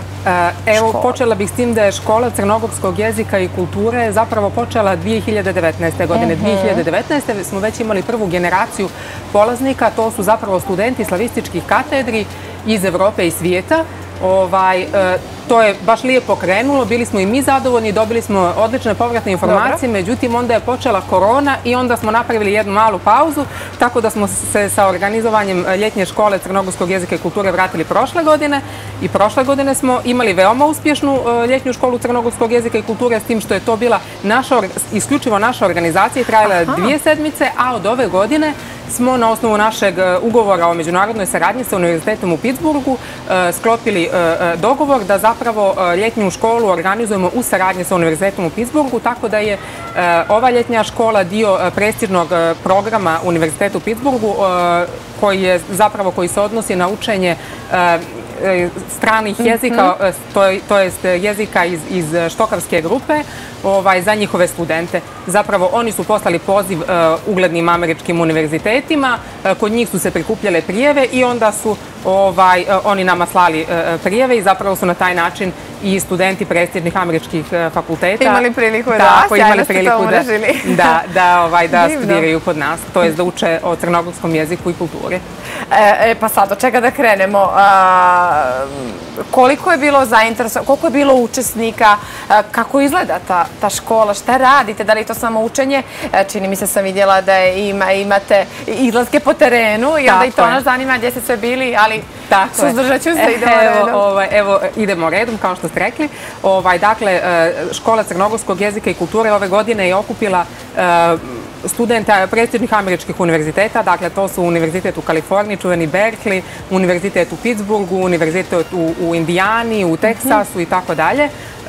Izuzetno smo zadovoljni grupom polaznika ove godine zato što to su zapravo studenti sa slavističkih katedre. Oni svi imaju eh, osnovno poznavanje crnogorskog jezika. Dakle, to je jedan osnovni nivo i oni su, kada su došli, kada su poslije prijavljivanja, su radili jedan inicijalni test da bi smo mi procijenili koji je to njihov nivo. To je bio početni nivo poznavanja crnogorskog mhm, jezika, tako da smo mi ovaj, kroz 60 časova intenzivnog učenja, 60 intenzivnih časova učenja jezika i 30 časova učenja e, o crnogorskoj e, kulturi i tradiciji e, smo eto ovaj uspjeli da tako da kažem da ih pošaljemo kući prezadovoljne i onako i što se tiče ovaj ne samo naučenog jezika već i upoznavanja crnogorske kulture, crnogorske tradicije, ali i crnogorskih prirodnih ljepota, zato što je program tako koncipiran da su oni zapravo četiri dana sedmično učili jezik uh, i to ne učili samo učionici, već učili i recimo uh, upoznavali se sa crnogorskom kinematografijom. Tu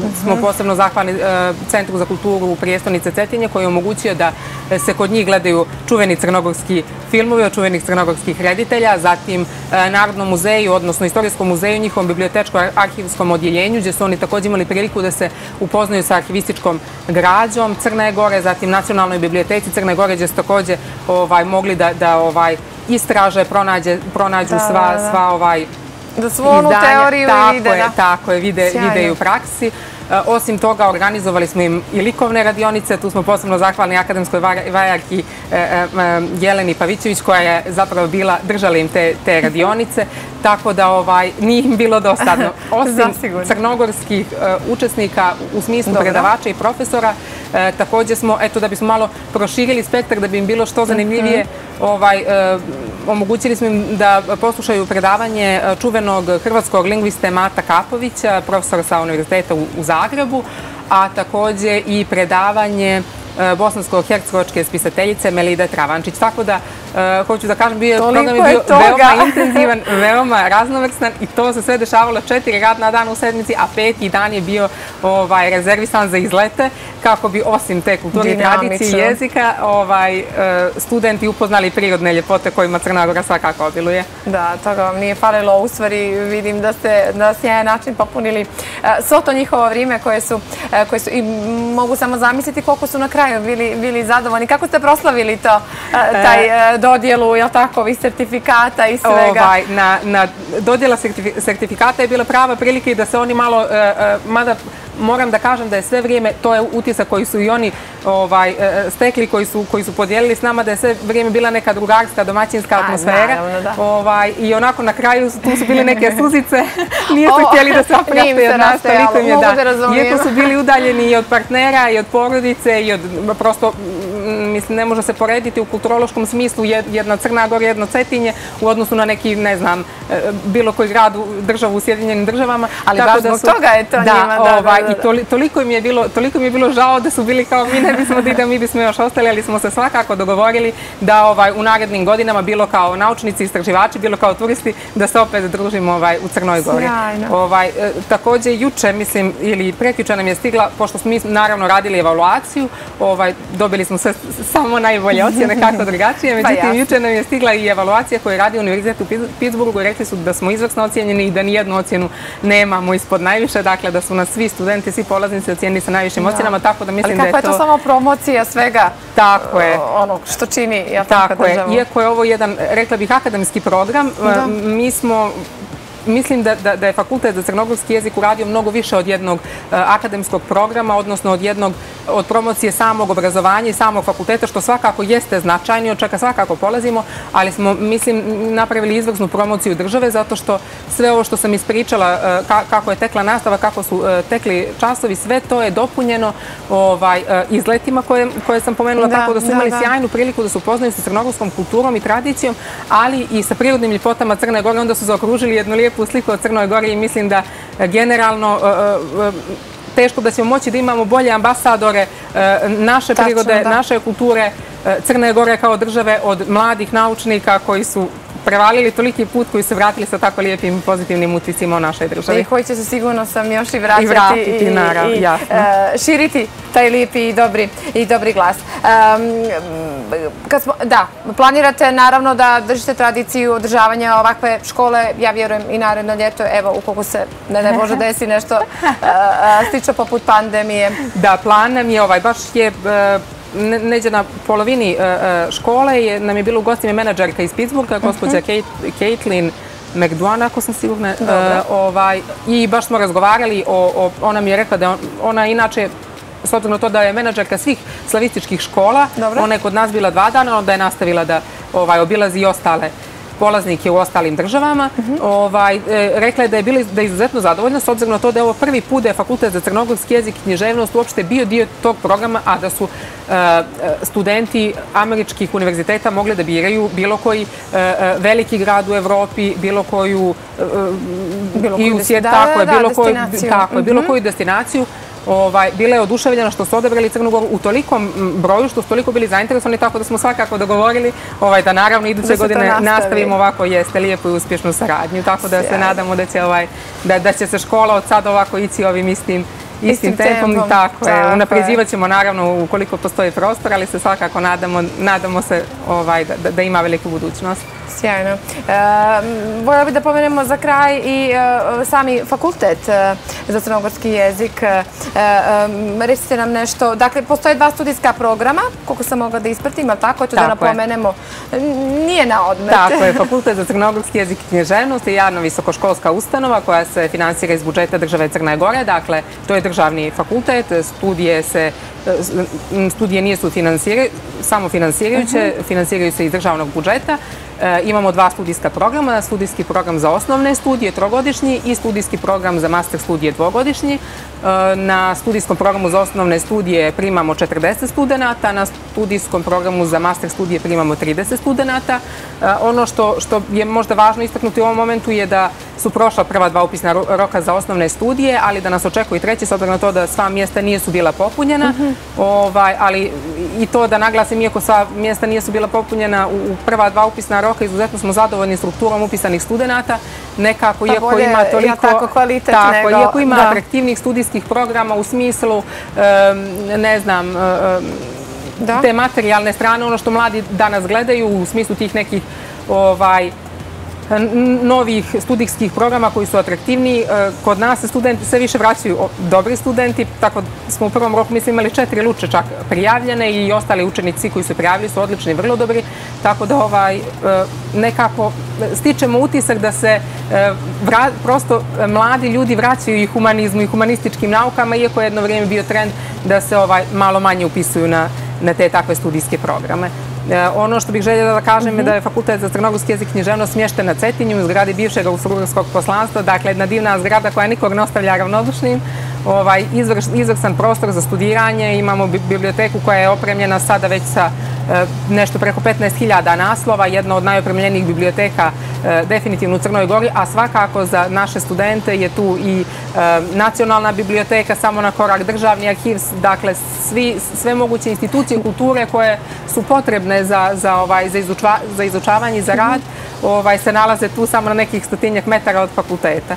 Ono što bih još možda istakla je da je, da je naš fakultet, odnosno na ostale fakultete koji su e, e, slični, ovaj, koji postoje kod nas, eto, ja bih istakla kao prednost to da naš fakultet e, ima, osim crnogorskog jezika i književnosti, ima i svjetsku književnost koja se izučava na svim godinama studija, a također se izučava i istorija crnogorske kulture i kroz jedan vrlo interaktivan e, način nastave, kroz također izlete, studijske posjete. Dakle, to sam tela da pitam. Ja vjerujem da vi tu praktikujete nešto slično poput e, ljetnje škole.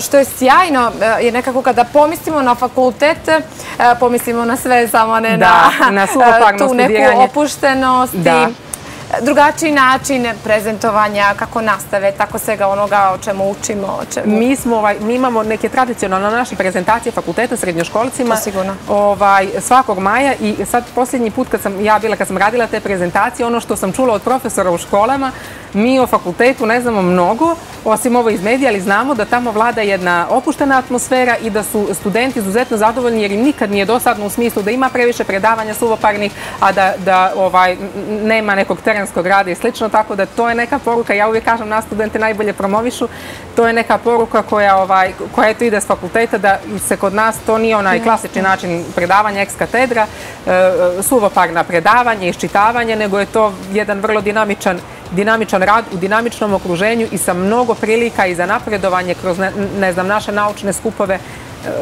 evo imamo možda premalo vremena da pomenem sve što bih htjela, ali tu su Cetinski filološki dani koji se organizuju svake dvije godine, to je, mislim, najveći međunarodni naučni skup koji se organizuju u Crnoj Gori na temu filologije.